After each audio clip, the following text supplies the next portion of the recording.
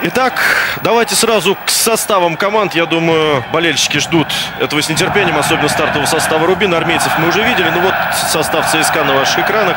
Итак, голкипер 35-й Игорь Кенфеев, 6-й Алексей Березуцкий, 24-й Василий Березуцкий, 4-й Сергей Игнашевич, 42-й Георгий Щенников, 2-й Дэвида Шемберс, 25-й Элвер Рахимич, 17-й Милош Красич, 18-й Юрий Жирков, 10-й Алан Загоев, 9-й Вагнер Лав, Артур Зико, главный тренер, ну и капитан команды Игорь Акинфеев, 35-й номер. Армейцы сегодня номинальные гости. Ну, а хозяева, хозяева матча за Суперкубок, футболисты Казанского Рубина на правах чемпиона страны Алан Загоев на ваших экранах. И сейчас посмотрим состав казанцев, а затем уже по ходу матча порассуждаем. Здесь есть э, о чем поговорить, много интересных деталей и нюансов. Итак, Рубин, 77-й, голкипер Сергей Рыжиков, 9-й Лаша Слуквадзе, 76-й Роман Шаронов, 4-й Сесар Навас, 27-й Даток Верквелия, 16-й Кристиан Нобуа, 14-й Сергей Ребров, 7-й капитан команды Сергей Симак, 5-й Петр Быстров и 21-й Роман Адамов. Курбан Бекевич Бердыев, главный тренер чемпиона страны. Дорогие друзья, 5 марта ушел из жизни двукратный чемпион Советского Союза, бывший игрок «Зенита» и ЦСКА Валерий Брошин. В память о Валерии Брошине объявляется минута молчания.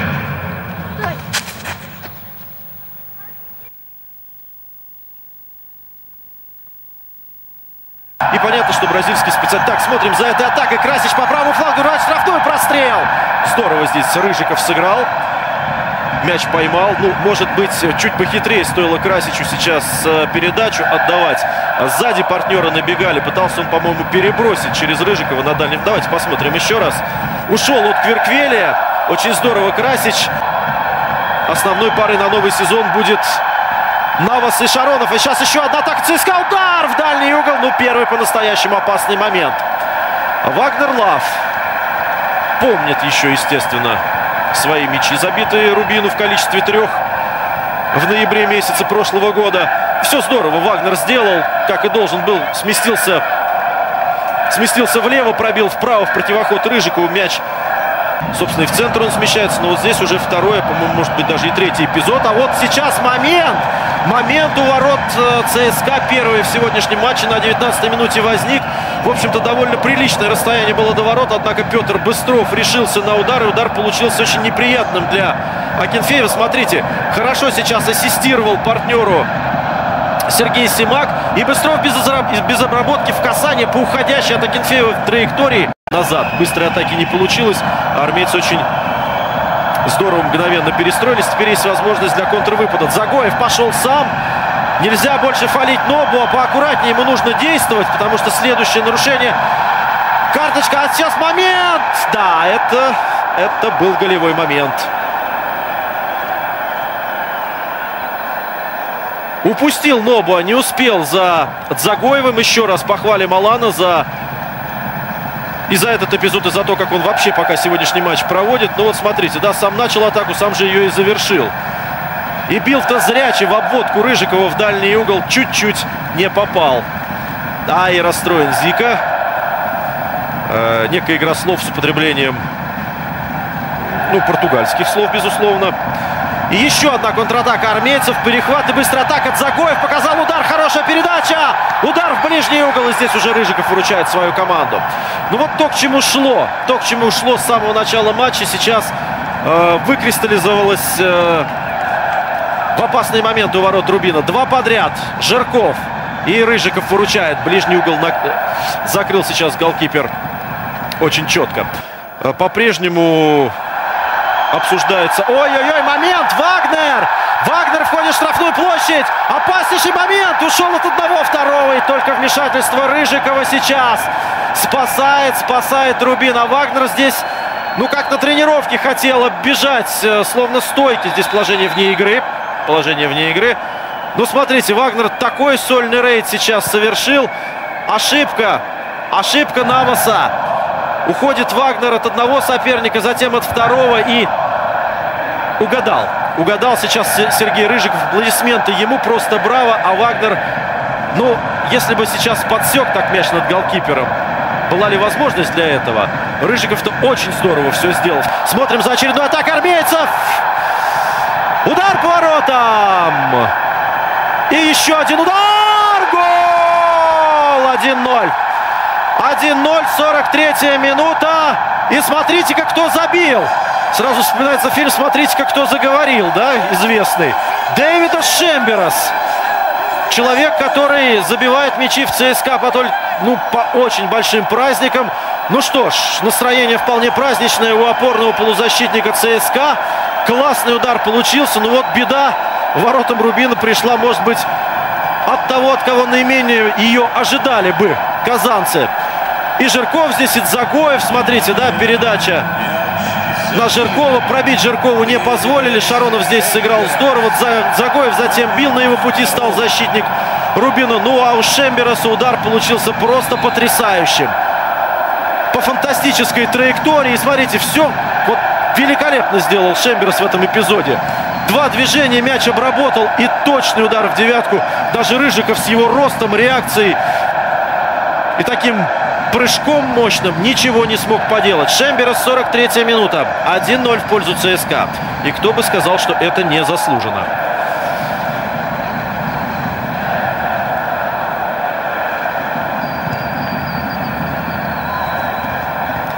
Да, ну что ж, э, очень э, качественный футбол. Армейский видим мы в первом периоде в первом тайме этого матча. Загоев в штрафной площади. Что будет делать? Ждет подключение. Жиркова. Жирков передача. Мог пробить и сам, но посчитал необходимым Юрий здесь мяч покатить вдоль э, линии ворот на набегавшего Вагнера, по-моему. Но там очень здорово сыграл Кверквелия.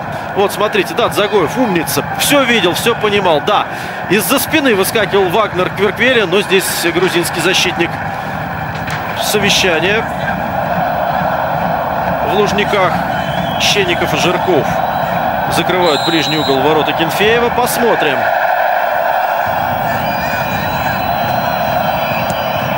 И момент, и гол! И гол не было положения вне игры. Рубин счет сравнивает. Разводит руки Игорь Кенфеев.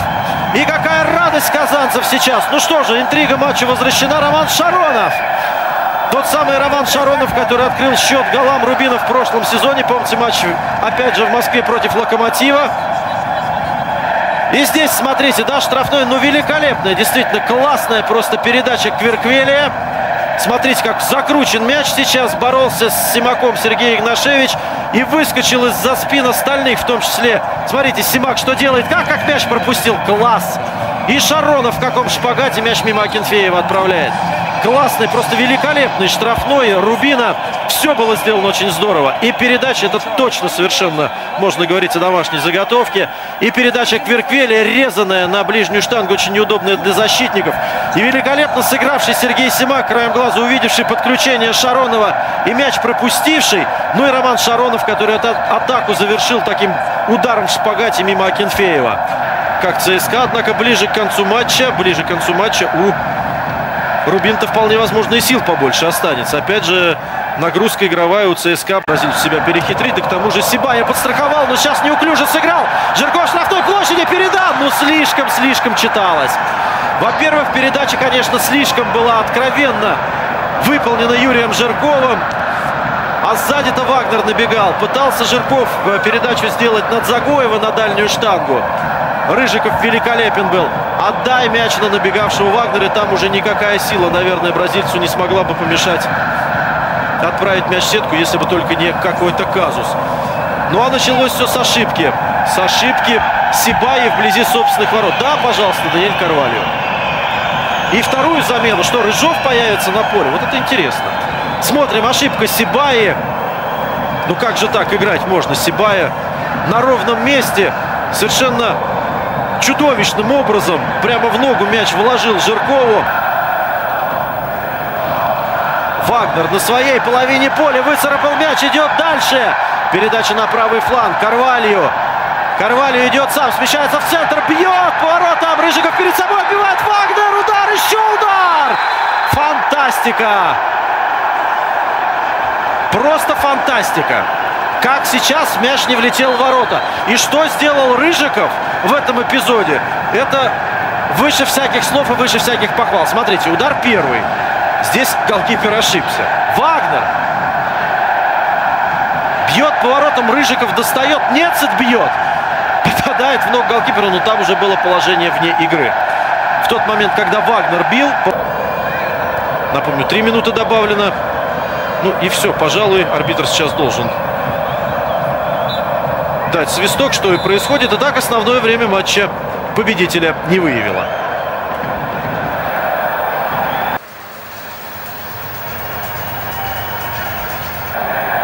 Иное мнение по этому поводу. Ну а что касается графика армейцев, то в ближайшее время уже так напряженно, как только, пожалуй, часто в конце сезона бывает у наших клубов. А что здесь? Момент! Удар поворотом! Не получился. Ну, казалось бы, все уже сделал Жирков. Даже больше, чем мог. Четверых там, по-моему, прошел, но в последний момент, опять же, Роман Шаронов самоотверженнейшим образом сумел. Вот, смотрите, вроде бы ушел уже Жирков. И там нога Шаронова, длинная нога Шаронова, которую он мяч проткнул сегодня в сетку ворот ЦСКА. И в этом эпизоде, конечно, смотрите, что Жирков творит. Ну, просто фантастика. Один, два, три игрока, четыре. Еще одна точная передача вперед. Опасный момент. Карденис в штрафной площади. Что здесь?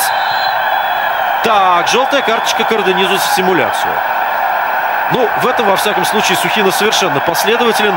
Уж если начал наказывать сегодня футболистов за рыбки, то и продолжает это делать.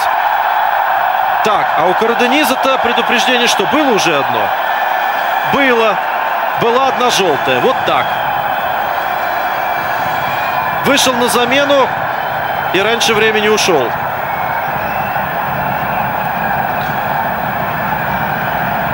Да, ну как здесь эпизод оценивать? Контакт был. Я, пожалуй, Сухина сегодня три желтые карточки показал вот за подобные нарушения. Помните, Адамов в первом тайме, потом Загоев и вот теперь Караденис. Рубин десятером остается. А ЦСКА атакует момент! И удар! Но как же так? Ну, такие-то эпизоды. Я, может быть, там, правда, раньше свисток был. И Нецет уже бил после того, как э, арбитр игру остановил. Давайте смотреть. Карвалью. Великолепная передача. Вагнер здесь в борьбе с Шароновым. Наносит удар. Рыжиков свою команду спасает. Да.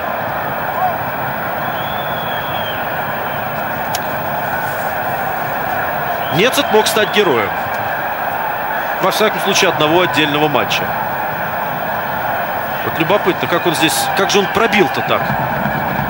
По-моему, просто ворота потерял Томаш Нецет в предыдущем эпизоде. Иначе объяснить то, что он сыграл сейчас как защитник, мяч в сторону от ворот отправил, очень сложно. Не удалось здесь Вагнеру за мяч зацепиться. Жестко было сыграно в рамках правил. А вот здесь здорово! Нецет! Один на один выход! Момент! Удар! И еще одну возможность упускает сейчас ЦСКА. Очень больно сейчас Юрию Жиркову. Ух, э, хочется надеяться, что без, э, без, без, без повреждений серьезных. Смотрите, какой момент и как здорово было сыграно Жирковым. Кстати, показалось, показалось, что Рыжиков вот в этом эпизоде очень долго думал, идти ли ему на перехват мяча или нет. Задержался очень серьезно. Он там вблизи ворота. Только потом же в последнюю буквально секунду решил броситься на перерез Нецеду. Сыграл-то, в общем, здесь сыграл здорово. Э, Рыжиков уже в последнюю секунду. Но там был момент, когда колебался. Он это колебание могло очень дорого стоить. Ну а затем Жирков бил уже в пустые ворота, но там подстраховал голкипера защитник. Поднимается Юрий Жирков. Здоровья тебе, Юра. Крепкого. Как, собственно, и всем участникам этого матча. Один точный удар может решить исход этого матча. Армейцы сегодня наиграли на массу Калин, на массу опасных моментов. И еще один вот он, этот удар! И этот удар Томаша Нецеда с третьей попытки. 2-1. Ну что ж, Нецед свой гол заслужил. Заслужил его старанием, заслужил его рвением, заслужил его тем, как он играл, выйдя на замену. Ну что же, браво Томаш Нецет, браво ЦСКА. ЦСКА, который давил на газ до последнего.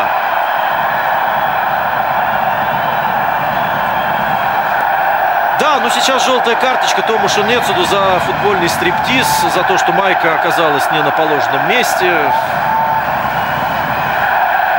Ну, собственно, какое сейчас это имеет значение для человека, который в новой команде в матче за Суперкубок вполне возможно забивает победный мяч. И это после того, как не получилось из, э, в других ситуациях отличиться. Алексей Березуцкий призывает партнеров бросить мяч из-за боковой. Все это с линцой. И все. Финальный свисток. Поздравляем ЦСКА с заслуженной победой в этом матче. Первый трофей Зико в российской истории. Армейцы празднуют успех, завоевывают свой четвертый суперкубок. И по этому показателю нет никого даже близко.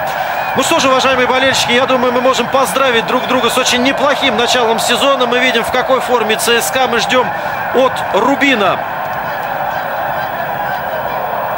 большей, скажем так, концентрации того, что команда, естественно, прибавит. Требовать от э, волжан сегодня выглядеть под стать армейцам, набравшим великолепный ход в начале сезона, было невозможно. И это нужно понимать. 2-1 в пользу ЦСКА. Победа. Решающий мяч в этом матче забил Томаш Нецет, который сегодня выглядел очень и очень неплохо. Собственно, наверное, как и вся армейская команда. На этом мы заканчиваем трансляцию, организованную Первым каналом. Для вас э, работал Константин Выборнов. Всего вам доброго и до новых встреч.